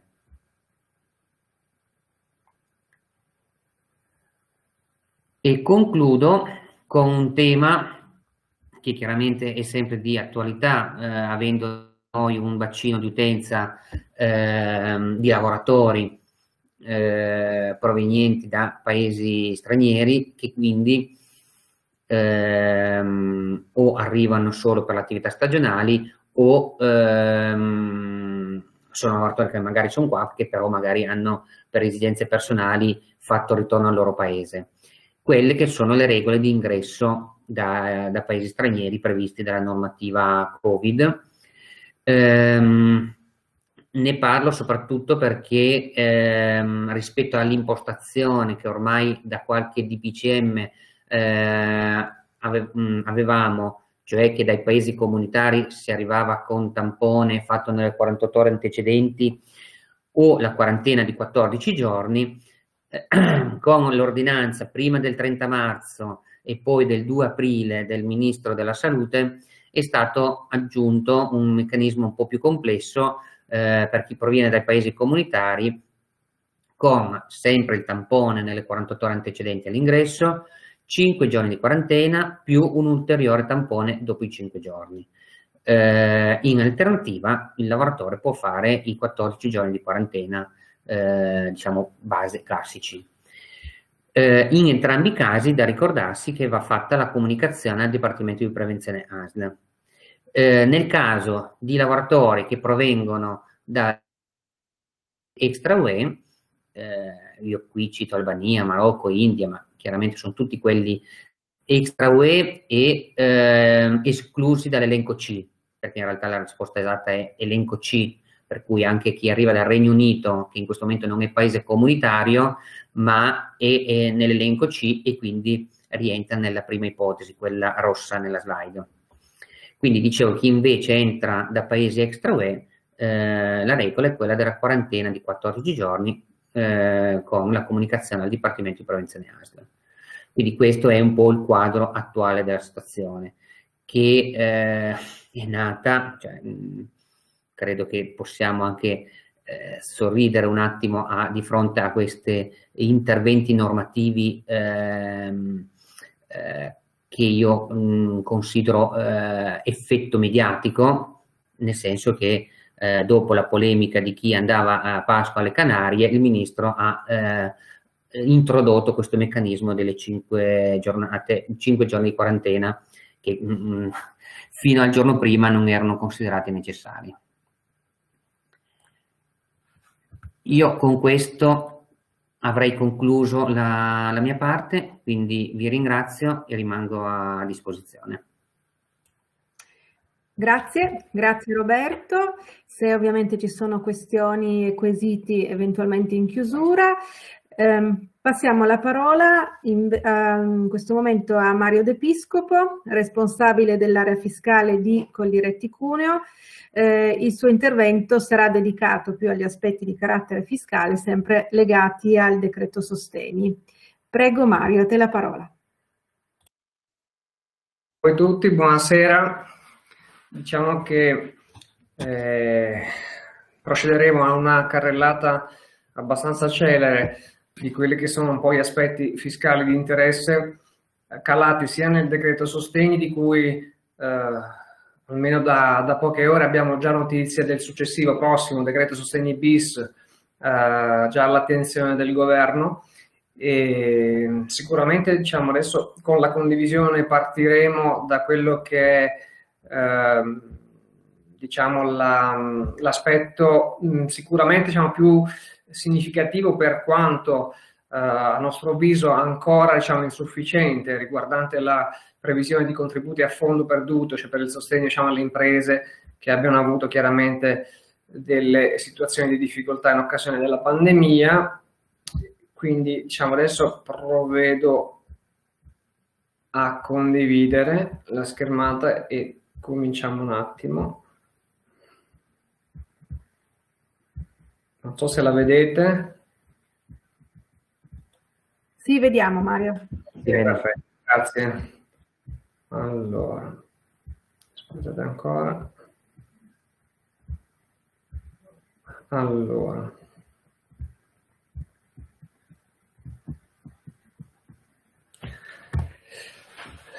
Come dicevamo, allora, il decreto sostegno ha previsto all'articolo 1 diciamo, questa misura di contributo a fondo perduto per le imprese, chiaramente incluse le agricole, eh, che abbiano subito diciamo, un, eh, nel 2020 eh, un ammontare medio mensile del fatturato corrispettivi inferiore ad almeno il 30% dell'analogo ammontare riferito al 2019 eh, salvo poi per i soggetti che abbiano attivato una partita IVA dal 1 gennaio 2019 prescindere invece dal riscontro dalla verifica appunto del requisito di questo calo del 30%. Quindi le partite IVA che sono state attivate a partire dal 1 gennaio 2019 conseguiranno diciamo così, un ammontare eh, chiaramente di contributo a fondo perduto che prescinderà dalla verifica di questo aspetto del calo fatturato. Diciamo che il contributo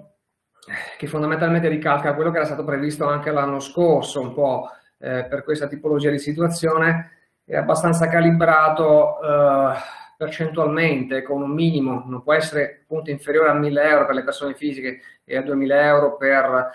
eh, i soggetti diversi dalle persone fisiche, quindi per le società, diciamo che diversamente appunto eh, calibrato a seconda del, del volume d'affari che la impresa individuale o la società genera. Come vedete abbiamo un 60%, 50, 40, 30, 20, ok, a seconda dell'ambito di riferimento. Per andare molto concretamente diciamo, ad un esempio, un esempio che a mio avviso appare calzante perché in prima battuta diciamo che eh, le aziende avevano immaginato eh, che di conseguire un contributo sulla base della semplice differenza ecco, fra il, il, il, fatturato 2020 e il fatturato, fatturato 2019. Invece no, come abbiamo anticipato, eh, occorre, occorre, innanzitutto dividere diciamo, il fatturato conseguito nel 2019 e nel 2020 per i mesi di riferimento. Nell'esempio che qui vedete esposto, se ad esempio nel 2019 si è conseguito un giro di fatturati corrispettivi pari a 120.000 euro, occorrerà prima dividere questo importo per i 12 mesi di riferimento, no? quindi con un esito di 10.000, ovviamente ripartiti 120 su 12 mesi. E al tempo stesso fare la stessa operazione sul 2020, quindi fatturato 2020 anche in questo caso lo andiamo a dividere per 12 mesi. Quindi nell'esempio che qui vedete se invece nel 2020 io ho fatto, anziché i 120.000 magari del 2019, ne ho fatti 60.000, quindi una bella perdita consistente, divido sempre quei 60.000 per 12 mesi,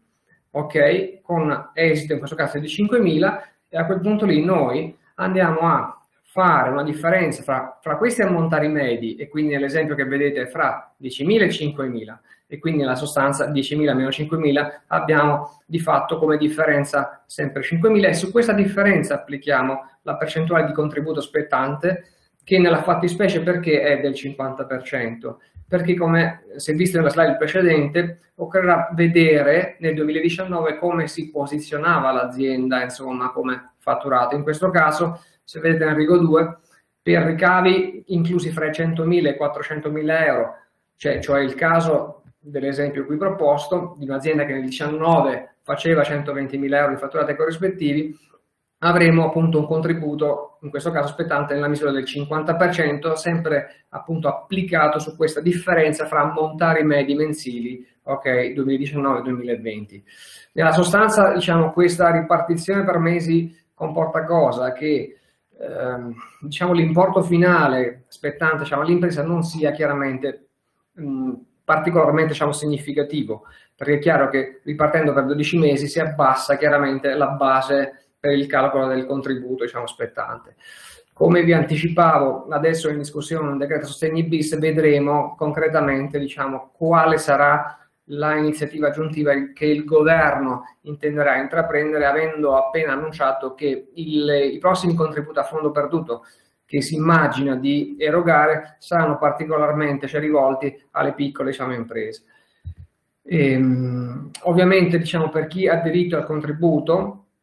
eh, le istanze dovranno essere presentate in un arco di 60 giorni, fondamentalmente il termine ultimo di scadenza del 28 maggio 2021, quindi parliamo appunto, eh, appunto questo, questo, riferimento attuale, il, la deadline prevista per l'inoltro delle istanze e, e l'Agenzia delle Entrate provvederà ad accreditare le somme, un po' come è già avvenuto per il precedente contributo, sul conto corrente bancario postale intestato al beneficiario. E sempre molto velocemente, eh, per le imprese, incluse le agricole, che abbiano chiaramente interesse diciamo, ad effettuare eh, investimenti diciamo, in, in beni strumentali all'impresa, eh, diciamo che la legge di bilancio 2021, quindi abbandoniamo un attimo il riferimento al decreto sostegni, ha rinnovato per il 2021 e anche oltre una misura che è stata diciamo, veramente di grande interesse eh, per, anche, anche, per l'ambito agricolo, che forse ecco, per la prima volta ha eh, avuto eh, diciamo così, la possibilità di beneficiare di un, un credito d'imposta, quindi nella sostanza di una leva fiscale di vantaggio, ok, che tempo addietro era stata per lo più immaginata per altre tipologie cioè, di imprese, no? quando esisteva il meccanismo dell'ammortamento, eh, delle quote di ammortamento dei beni strumentali. Eh, meccanismo che almeno nella maggior parte chiaramente delle nostre imprese agricole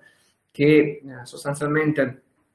tassano a reddito forfetizzato, a reddito agrario, chiaramente cioè, non, non, poteva essere utilizzato. Invece con lo scritto di imposta, ok, noi abbiamo una misura eh, molto innovativa e importante che ci consente fondamentalmente di recuperare sul nostro investimento che andiamo a fare in beni strumentali una percentuale di, di credito, credito che sarà compensato per abbattere tributi e anche contributi okay, eh, previdenziali.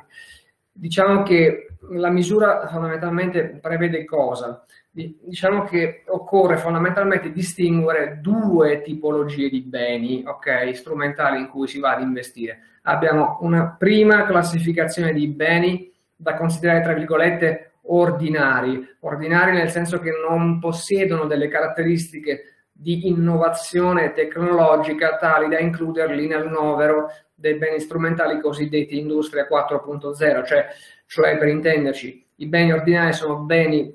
un po' classicamente diciamo intesi e individuati per differenza ecco, rispetto ad altri beni che hanno una capacità ecco, di eh, interconnettersi no? con sistemi anche di controllo a distanza, anche tramite diciamo così, eh, palmari o eh, smartphone, eccetera, e che quindi sono anche per certi versi telecomandabili o gestibili a distanza. No? Quindi per i beni ordinari fondamentalmente noi abbiamo che la legge di bilancio 2021 attribuisce, accorda un credito d'imposta del 10% per i beni materiali okay, eh, ordinari, eh, quindi per questa tipologia cioè di eh, investimenti, eh, investimenti che possono essere effettuati fino al 31 dicembre 2021,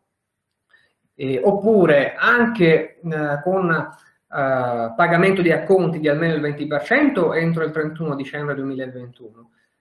con consegna poi diciamo, del bene a, entro i sei mesi successivi, cioè entro il 30 giugno 2022. Quindi nella sostanza abbiamo tempo a tutto il 2021 per effettuare questa tipologia di investimenti oppure di pagare un acconto del 20% entro fine anno e di farceli consegnare entro il 30 giugno del 2022.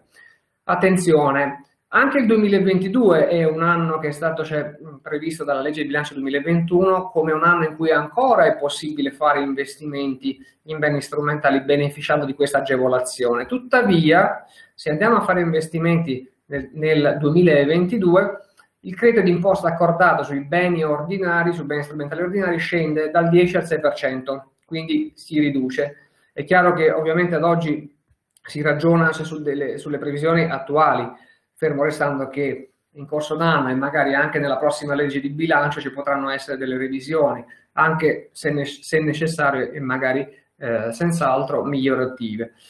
E, ehm, invece, come anticipavo, per i beni strumentali eh, materiali 4.0 la musica cambia, nel senso che quel credito d'imposta che abbiamo accennato, ripeto, del 10% sui beni ordinari, quindi ordinari, eh, o del 6% per chi intende effettuarli nel 2022, ecco questa percentuale per i beni 4.0 si innalza, si innalza in maniera molto consistente al 50%. Cioè, traducendo, se noi andiamo ad oggi a effettuare un investimento in un trattore, no? l'esempio più classico, e questo trattore ha montato anche un kit che ne consente il controllo satellitare a distanza, eh, ok, e magari ad esempio questo trattore costa, facciamo 150.000 euro, se possiede queste caratteristiche di controllabilità a distanza, diciamo, eh, tutte caratteristiche che poi devono essere anche certificate, tra poco lo specifichiamo,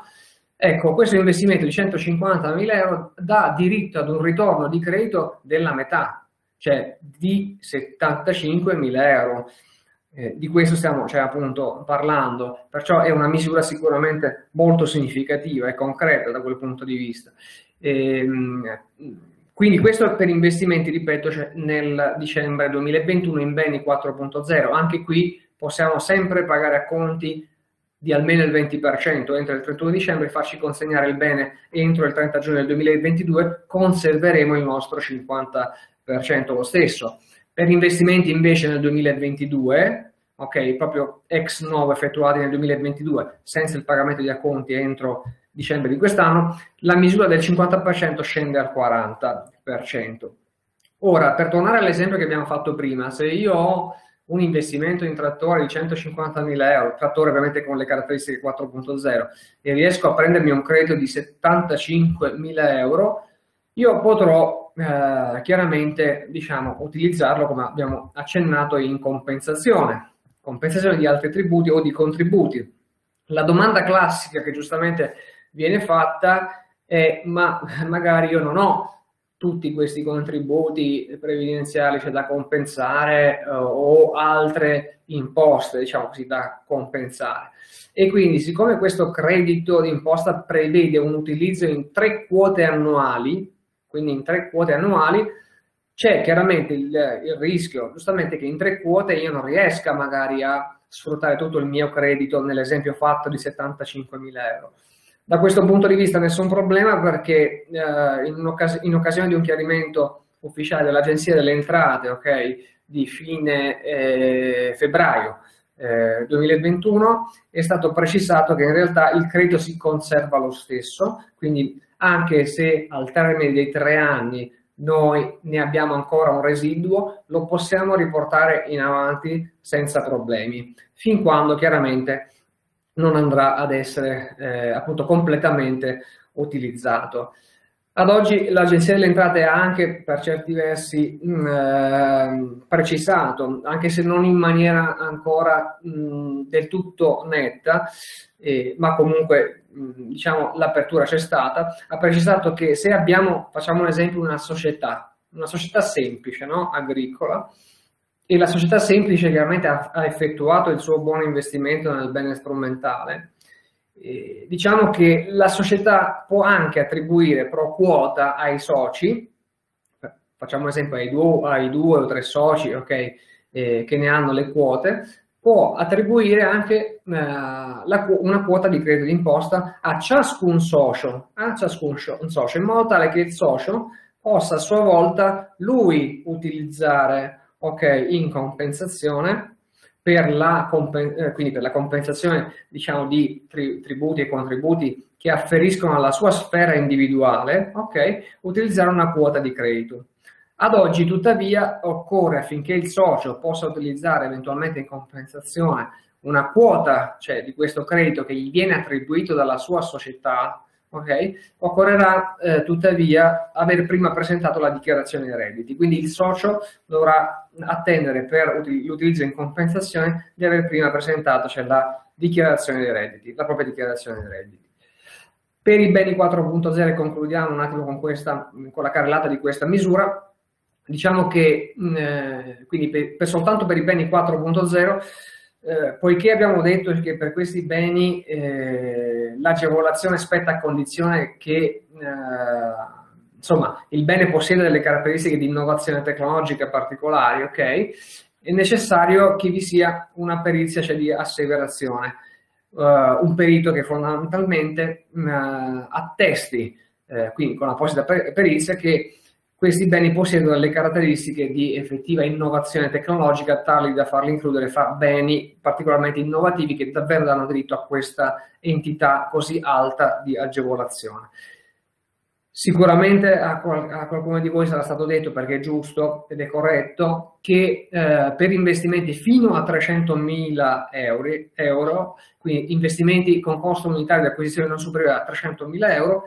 non è necessario, attenzione, richiedere una perizia asseverata perché sarebbe sufficiente una autocertificazione da parte del titolare aziendale. Quindi se l'investimento si mantiene entro il tetto di 300.000 euro, e l'esempio che abbiamo fatto prima è calzante, l'esempio del trattore il cui costo unitario è di 150.000 euro, Ecco, diciamo, per questa tipologia di investimento possiamo anche, eh, è possibile che, eh, che il titolare autocertifichi direttamente, senza necessità di ricorrere a un perito, le caratteristiche di innovazione 4.0. Diciamo che per quest'anno ancora un'altra novità di interesse prevista nella legge bilancio 2021 è stata la eliminazione eh, completa, ripeto, per tutto il 2021 dell'IRPEF agricola, cioè nel senso che nemmeno sui redditi dominicali e agrari dei terreni si andrà a pagare IRPEF.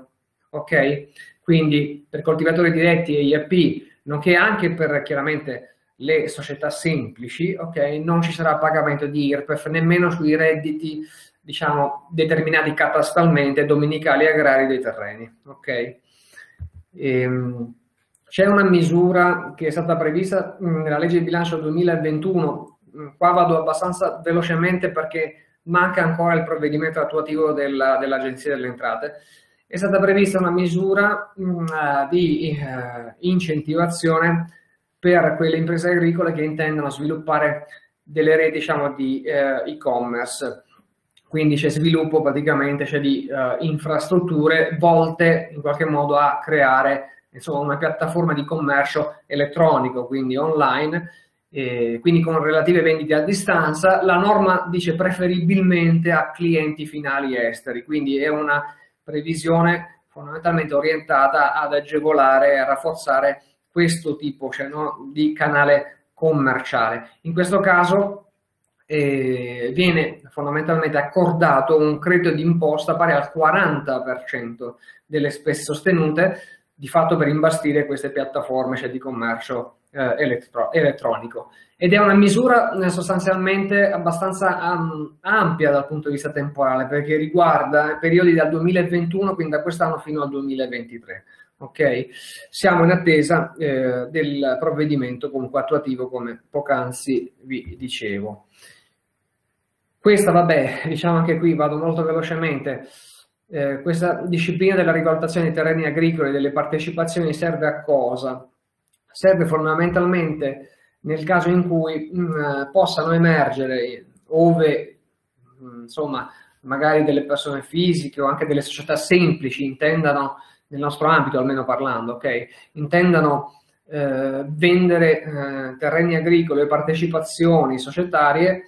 eh, e magari sussistono gli estremi per eventuali plusvalenze, no? L'esempio classico è un terreno agricolo che io compro, magari l'ho comprato l'anno scorso e quest'anno decido di rivenderlo e eh, magari ci margino, riesco a, a, a, determinare il mio vantaggio, sicuramente un corrispettivo di vendita più elevato rispetto a quello al quale ho acquistato cioè, tale bene. In questo caso ho un differenziale che mi andrebbe a plusvalenza da tassare ordinariamente diciamo, parlando. Questa, questa, previsione serve fondamentalmente a sterilizzare, per, farla, mm, per dirla un po' semplicemente, un po' a sterilizzare il carico fiscale, cioè l'imposta, ok, su questa plusvalenza. Tradotto, anziché magari eh, pagare un importo IRPEF ordinariamente c'è previsto in una certa misura, ok? E io mh, mm, che, che, per i terreni agricoli, ecco per, per, dirvi, cioè per dirvela tutta, è pari ad oggi al 26%, 26% della plusvalenza. Anziché pagare il 26%, ho la possibilità con diciamo così, una perizia che mi indichi il, va il valore del terreno, del terreno agricolo o delle partecipazioni che cedono di pagarci sopra anziché il 26% l'11%. Ok? O in unica soluzione o in tre rate annuali. Ehm, poi mm, anche qui, diciamo, mm, qui entriamo nel mondo delle, mm, eh, dei meccanismi previsti, eh, agevolativi previsti nel campo delle ristrutturazioni edilizie. Quindi voi sapete che ad oggi abbiamo una carrellata di disposizioni che riguardano sinteticamente le detrazioni per spese di ristrutturazione edilizia, famoso, la famosa detrazione al 50%, che è prevista per immobili residenziali. Ok, quindi fondamentalmente abitativi, anche rurali, purché però residenziali e non strumentali okay, allo svolgimento dell'attività eh, agricola. Per intenderci, non è che con questa misura del 50% possiamo andare a eh, ristrutturare e avere agevolazioni magari su stalle o capannoni eh, che utilizziamo per l'attività okay, imprenditoriale, riguardo i residenziali. A questa misura, come sapete, se ne affiancano altre, abbiamo l'eco bonus, il sisma bonus, il bonus facciate. Cosa sono nella sostanza? Il sisma bonus e chiaramente la, una previsione di intervento che concerne la staticità de, del, del, degli immobili e il sisma bonus per esempio che dà diritto a una sua detrazione che di base del 50% anche se si può alzare al 70 e fino anche all'80 se andiamo a ridurre le classi di rischio sismico, ok? Ecco, il sisma bonus per esempio già a differenza di, della ristrutturazione edilizia è invece attuabile anche sugli immobili strumentali. Quindi detrazione classica 50% non riguarda gli immobili strumentali. Sisma bonus riguarda anche gli immobili strumentali e non soltanto gli abitativi e quindi può interessare l'azienda. Ancora, l'efficientamento energetico, quando voi sentite il famoso eco bonus, quello del 65%, ok? Anche questo riguarda gli immobili, può riguardare anche gli immobili strumentali, non soltanto quelli abitativi. Un esempio classico di intervento di efficientamento energetico riguarda eh, fondamentalmente la, mm, eh, la, praticamente la sostituzione di eh, caldaia a condensazione, così come può anche riguardare eh, appunto la sostituzione di mh, mm, finestre comprensive di infissi e schermature solari. No? Eh, altra misura eh, che riguarda sempre gli immobili strumentali, ecco perché in questa slide ho preferito raggrupparvi insieme l'eco bonus di efficientamento energetico, il sisma bonus e il bonus facciate, perché queste misure che voi vedete in questa slide possono riguardare anche gli immobili strumentali. Con i bonus facciate, recupero o restauro di facciate esterne, voi potete portare in detrazione il 90%. Quindi mh, mm, diciamo che mh, mm, chiaramente eh, queste sono misure che hanno una loro diciamo, complessità applicativa. Questo prima di andarci un attimo a, eh, a vedere il, il, il, il, super bonus al 110%, che è un'ulteriore misura che ben conoscete anche per, insomma, perché è molto attuale. Queste che vedete in questa slide sono quel gruppo di misure okay, eh, fiscali di vantaggio, detrazioni che significa anche possibilità ad oggi, sul 2021, anziché detrarre, per intenderci, scalare da imposte, se uno non ha capienza di imposte, giustamente non se ne fa niente. Ma nel 2021 queste, questi, queste, queste misure okay, di agevolazione possono formare oggetto, ma credo che ben lo sappiate, di cessione a terzi, solitamente banche. No? Le banche vi comprano chiaramente cioè, la, queste misure, magari non ve le comprano chiaramente alle percentuali cui avreste ordinariamente diritto, ma chiaramente a importi lievemente inferiori, però sappiate che per il 2021 ad oggi appunto se fate interventi di questo tipo le relative misure sono cedibili appunto a, a banche o a qualunque soggetto terzo per intenderci che abbia interesse ad acquisirvelo. Ehm, è stato detto, questo giusto così per preannunciarlo, da un po' dai rotocalchi televisivi, informativi in generale, che questo gruppo di misure, inclusa questa precedente che abbiamo, che abbiamo visto un attimo delle detrazioni per spese di situazione edilizia, queste misure dovrebbero essere un po' unificate in prospettiva dal governo, unificate e trattate ad, una, ad un'unica aliquota cioè di vantaggio, il 75%, cioè nella mente chiaramente ad oggi del governo l'idea è quella di unificare un po' tutte queste misure, di metterle insieme e di dare semplicemente um, un'unica okay, eh, percentuale agevolativa eh, che attualmente, vabbè, stando a quello che si legge un po' uh, sui giornali o si sente, sarebbe pari al 75%. Poi andremo a vedere come intenderanno modularle. Sicuramente l'idea di unificarle potrebbe essere vantaggioso, importante, significativo, perché ciascuna misura che eh, vedete qui sinteticamente esposta ha poi una sua concreta declinazione, come immaginerete, particolarmente complessa, cioè ogni misura ha le sue regole, ha le sue eh, insomma, specificità, che chiaramente non sono particolarmente agevoli un attimo da eh, catalogare, insomma, da, da, da affrontare. E, mh, qui vedete bonus mobili e bonus verde, anche molto velocemente. Il bonus mobili che cos'è? È la possibilità, sempre nel 2021, di agganciare alla misura, questa qui che abbiamo visto della detrazione di spese per ristrutturazione edilizia al 50%, ok? Di agganciare a questa misura anche la possibilità di fondamentalmente eh, acquistare mobili ed elettrodomestici con una certa classe energetica non inferiore ad A+, A+, o A per i forni, eh, che per quest'anno, ecco, mh, diciamo è una misura che mh, fino all'anno scorso era pari eh, insomma a 10.000 euro massimo di investimenti in beni mobili, cioè se io investivo fino a 10.000 euro avevo un ritorno del 50% di 10.000 euro, ok? Quest'anno questa misura è stata innalzata a 16.000 euro, quindi abbiamo la possibilità di fare investimenti per beni mobili. Ripeto, questa misura si aggancia a quella di ristrutturazione edilizia, non è fruibile senza un intervento di ristrutturazione edilizia, ok? Questa misura però si, ehm, si innalza a 16.000 euro consentendoci di recuperarne il 50%.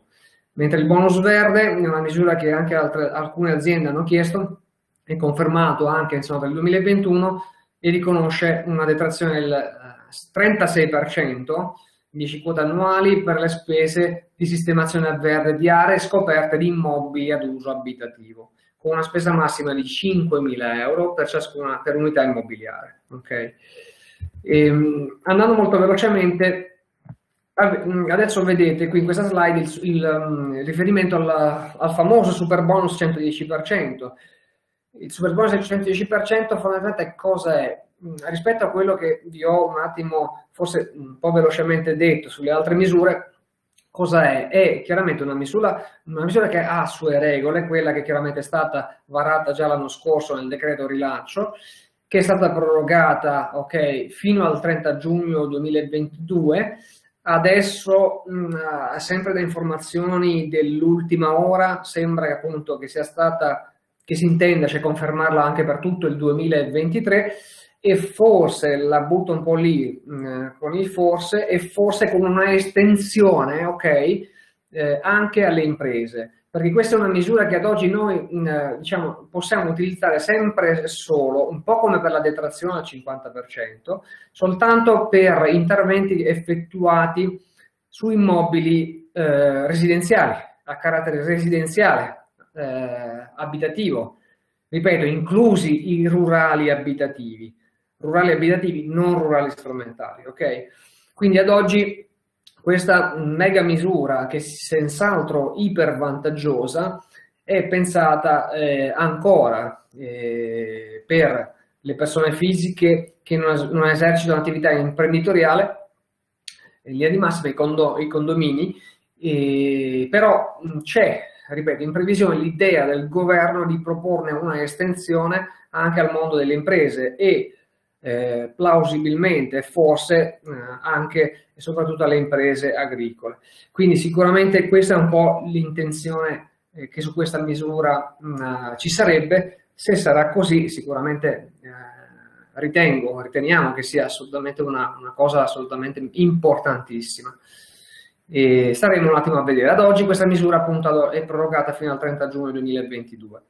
e per i condomini fino anche al 31 dicembre 2022, ma con uno stato di avanzamento lavori al 30 giugno 2022 pari almeno al 60% okay, dell'intervento effettuato. Diciamo che eh, ad oggi questi interventi possono essere fatti anche eh, dalle persone fisiche che, che sono eh, magari mh, uniche proprietarie o anche comproprietarie di edifici che sono composti anche da due, a quattro, eh, da due fino a quattro unità immobiliari distintamente accatastate. Questo perché? Perché prima della legge bilancio 2021 su questo, mm, su questo tipo di edifici in realtà c'era una preclusione, non era consentita l'applicazione di questa misura, cioè praticamente l'Agenzia delle Entrate aveva detto attenzione, se abbiamo edifici eh, in cui eh, magari una persona fisica eh, e lei stessa da sola titolare di tutto l'edificio, che ha magari al suo interno anche più unità immobiliari distintamente accatastate, oppure il caso in cui il, il, il proprietario unico in realtà è, aveva una percentuale perché magari in comproprietà c'era il coniuge o magari il figlio, ecco, non potendosi configurare un condominio, l'Agenzia delle Entrate aveva escluso l'applicabilità del super bonus 110%. Invece la legge di bilancio 2021 è intervenuta a introdurre un po' ecco, una, una novità, eh, a precisare eh, il fatto che se abbiamo edifici composti da 2 a 4 unità distintamente accatastate, anche se abbiamo un unico proprietario di tutto l'edificio o una comproprietà, magari anche familiare, no? per dire marito, moglie, figli, si applica, si potrà applicare ok, questo tipo cioè, di uh, disciplina del 110%. Ehm, sempre molto velocemente, vabbè, diciamo, sono, queste sono due misure che eh, butto un po' lì, eh, ne, necessitano di attuazione ancora. Uno, una riguarda il bonus acqua potabile, che è pensato sia per le persone fisiche al di fuori eh, dell'attività di impresa eh, o professionale, quindi persone fisiche, cioè appunto privati, pure semplici, che possono avere, diciamo così, diritto ad insomma, un credito d'imposta, anche qui eh, pari al 50% di spese che sono sostenute in questo anno e fino anche al 31 dicembre 2022 per l'acquisto e l'installazione di sistemi di filtraggio, di mineralizzazione e addizione di anidride carbonica, raffreddamento, insomma, tecnicamente parlando, miglioramento qualitativo delle acque potabili. Ok?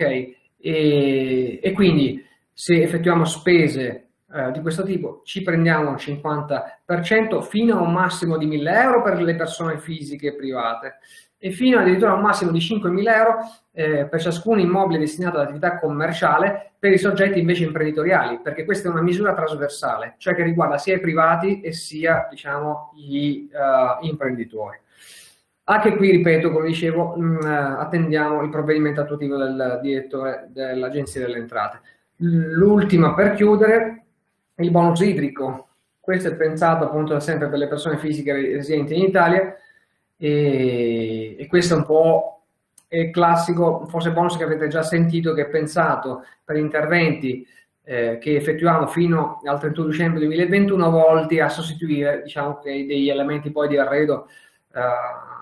come base sanitaria in ceramica, con apparecchi a scarico ridotto e di rubinetteria sanitaria, soffioni, eccetera, colonne, doccia, eh, su, su edifici esistenti o singole unità immobiliari. E anche qui, insomma, ne attendiamo l'attuazione. Questo è un po'... Ecco, adesso interrompo un attimo la condivisione. Sì.